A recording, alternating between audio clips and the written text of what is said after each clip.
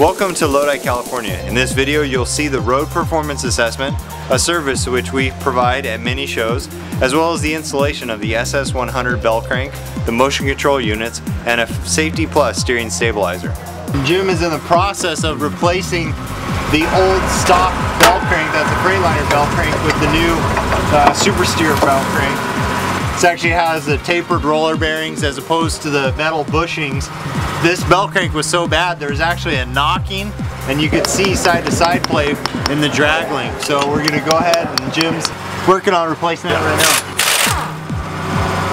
now. The SS100 bell crank, it's slightly elongated on one side and so what we always do, the sticker goes up and they'll go right into place. So when you're installing these, put the sticker up. Now we're going to be putting in the motion control units. These go in the airline to the airbags and as you can probably hear, we're releasing the air. You want to make sure anytime you get ready to put in the motion control units, you release the air in the airline system and then you install the units. Gonna use some soapy water, spray it on there, see if there's any bubbles and that'll determine whether there's leaks or not.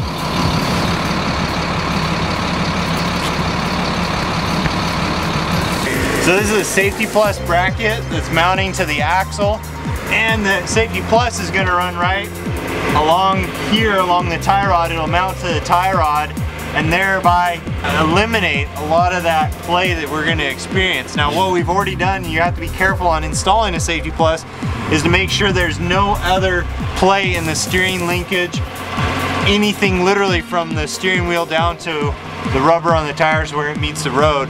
Okay, now that the Safe-T-Plus is installed, we're gonna mark the tie rod on each side of the bracket that's attaching to it. And that way when we do the adjustments, which are very, very small, we're talking like a 16th of an inch, can determine or lead to uh, pull to the, either the right or left. And if anything, you want it to err slightly towards the passenger side. Okay, we're now in the third phase of the road performance assessment. We've already gone out on the discovery phase, so we've discovered what's going on with the handling and suspension. Uh, the diagnosis, where we've actually gone under the coach and inspected literally from the steering wheel down to the tires and every steering component therein.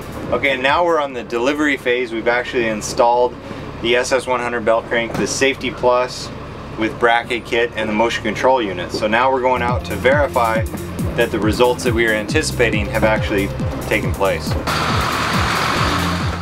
Right at the outset of the delivery phase of the road performance assessment, we noticed a left-hand pull with the Safe-T-Plus.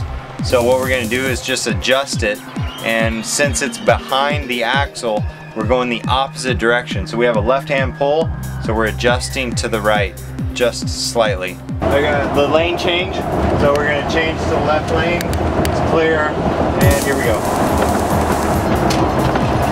And now once I've verified that everything's as it should be, now the driver, the owner of the coach, is now verifying all the results. It uh, drives down the road a lot more steady with steering and uh, a lot less uh, uh body roll through the, the low RPMs, low speeds, and and just seems to track down the highway a little bit truer. All right, Alan. Well, that completes the road performance assessment. Thank you so much.